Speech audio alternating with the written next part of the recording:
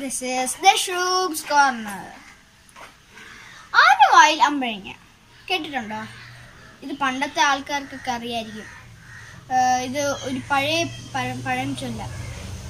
ആനയും ആന വലുതും അമ്പഴങ്ങ ചെറുതും അല്ലേ എപ്പോഴും കിട്ടുന്ന അമ്പഴങ്ങ ചെറുതും അല്ലേ അതാണ് ആ പഴം അർത്ഥം അപ്പോൾ എനിക്ക് ഒരു ഐഡിയ കിട്ടി. നമുക്കിന്ന് അമ്പഴങ്ങയെ കുറിച്ച് സംസാരിച്ചാലോ? ഇന്ന് നമുക്ക് അമ്പഴങ്ങയെ കുറിച്ചുള്ള ബെനിഫിറ്റ്സ് സംസാരിക്കാം അപ്പോ നമുക്ക് വീഡിയോയിലോട്ട് കടക്കാം.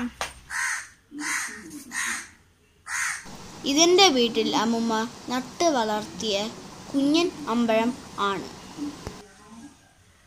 കുഞ്ഞൻ അമ്പഴങ്ങയ്ക്ക് സീഡിന് കട്ടി കുറവായിരിക്കും.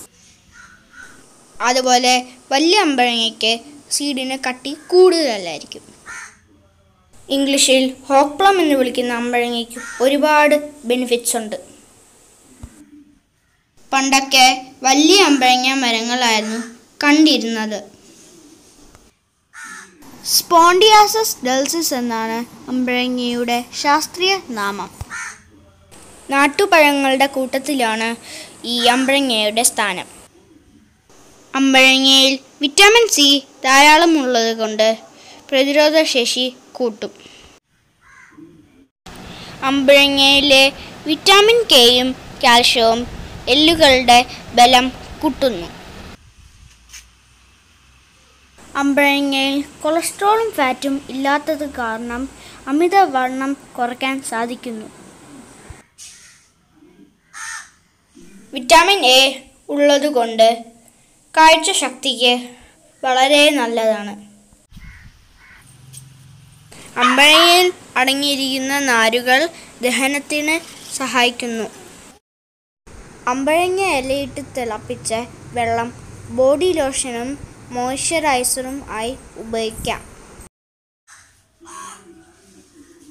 തൊലിപ്പുറത്തെ അസുഖങ്ങൾക്ക് മരുന്നിനായി അമ്പഴങ്ങ വേരുകൾ ഉപയോഗിക്കാറുണ്ട്. അമ്പഴങ്ങയും അമ്പഴങ്ങയുടെ ഇലയും ചുമയ്ക്കുള്ള മരുന്നാണ്.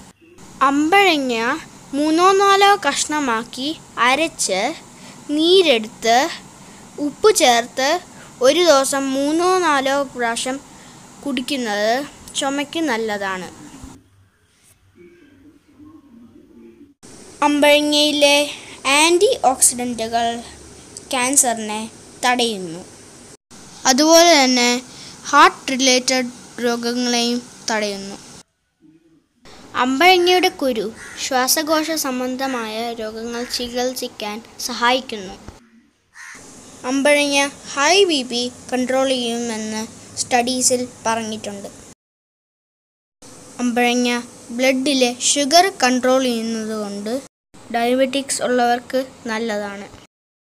കേരളത്തിൽ പല ജില്ലകളിലും പല പല പേരുകളിൽ ആണ് അറിയപ്പെടുന്നത്.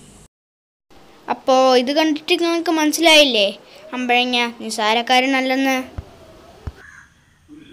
ഇനിയെങ്കിലും എല്ലാവരും അമ്പഴങ്ങ വേസ്റ്റ് ചെയ്യാതിരിക്കുക വീട്ടിലുള്ളവർ കഴിക്കുക വീട്ടിലില്ലാത്തവർ ഒരു ചട്ടിയിലെങ്കിലും നടുക. അപ്പോൾ സേവ് ട്രീസ് നിങ്ങൾക്ക് ഈ വീഡിയോ ഇഷ്ടപ്പെട്ടെങ്കിൽ ലൈക്ക് ഷെയർ ആൻഡ് സബ്സ്ക്രൈബ് പിന്നെ ആ ബെൽ നോട്ടിഫിക്കേഷനും കൂടി ഇട്ടേക്കൂ. പിന്നെ അടുത്ത വീഡിയോ കാണാനായിട്ട്. ഞാൻ ഒരു ഹിൻഡ് പറയാം. അടുത്ത വീഡിയോ ഇന്ന് പഠിച്ച കാര്യത്തിന്റെ ഒരു റെസിപ്പിയാണ് അപ്പോൾ bye friends this is the shoot corner see you next time bye